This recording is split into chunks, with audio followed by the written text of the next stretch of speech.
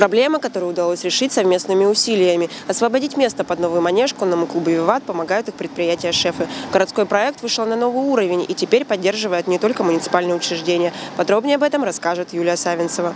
Пойдем прыгать? Да, пойдем.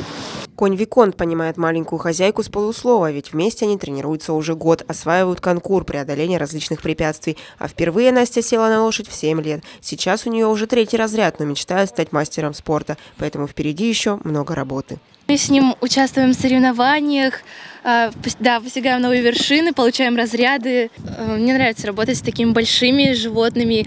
Когда с ними работаешь, очень много адреналина выделяется, и это очень классно.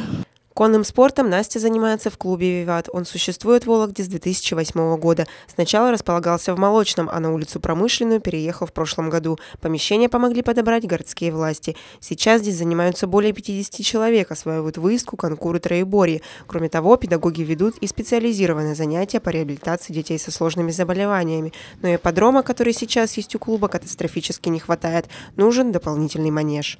Конный спорт э, нужно развивать он очень такой популярный, очень зрелищный вид спорта, очень интересный.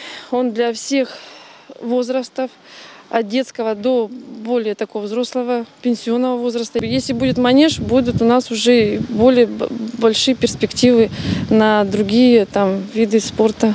На строительство манежа клуб получил грант, но пока территорию занимает свалка, которую устроили здесь местные жители. Очистить от мусора площадку под новый манеж взялась компания «Вторресурсы» в рамках городского проекта «Шефы». Предприятие уже поддерживает два детских сада Вологды. В одном построили спортивную площадку, в другом заменили систему канализации. Теперь в списках подшефных и клуб «Виват».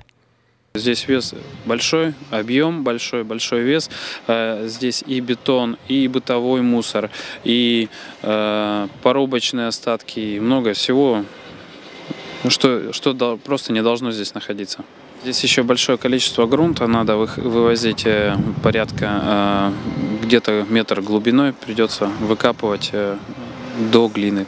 Чтобы площадка для будущего манежа была ровной, предприятие планирует еще и подготовить грунт под фундамент. Работы как минимум на неделю, а затем можно начинать строительство. Такое сотрудничество фактически открыло новую страницу в реализации проекта «Шефы». Предприятие стало поддерживать не только муниципальные учреждения образования, культуры, спорта, но и другие кружки и секции, где занимаются вологодские дети. Сейчас шефскую помощь получают около 150 учреждений. Ее размеры превысили сумму в 40 миллионов рублей.